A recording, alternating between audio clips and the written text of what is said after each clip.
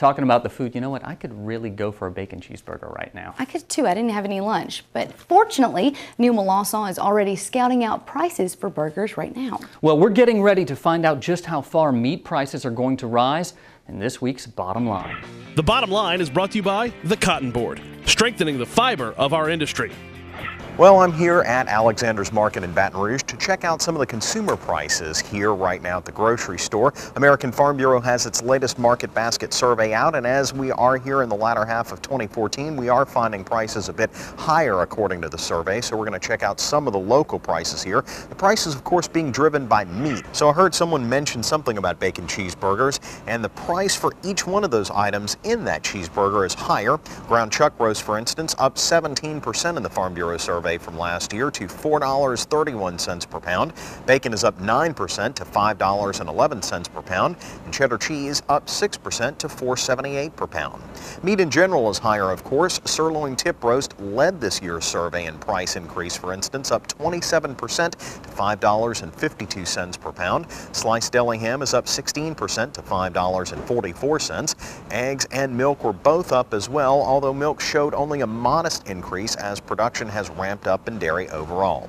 About the only price break in meat is in poultry, where the survey found chicken breast down 12% to $3.46 per pound. Your french fries might be cheaper too, as potatoes are down 15% to $2.72 per pound.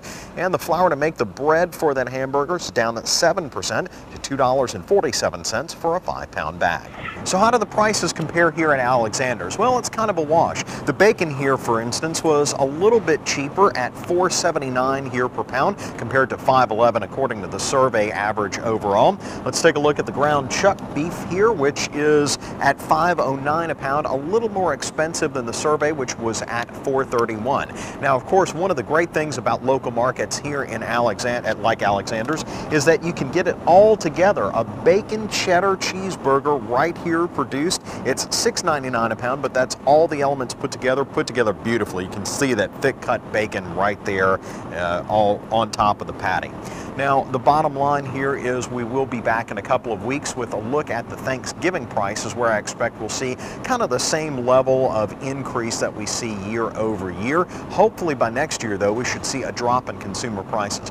By the way, guys, back at the studio, one of the people in this year's American Farm Bureau survey was Taylor Fry, one of the 87 people looking at the prices nationwide. So if you're looking for that bacon cheeseburger, ask her. Yeah, I don't know how good of a cook Taylor is, but I'll ask her for the recipe anyway anyway. Well, that about does it for this edition of This Week in Louisiana Agriculture. And for all of us here at TWILA, thank you for watching. We hope to see you again right here next week.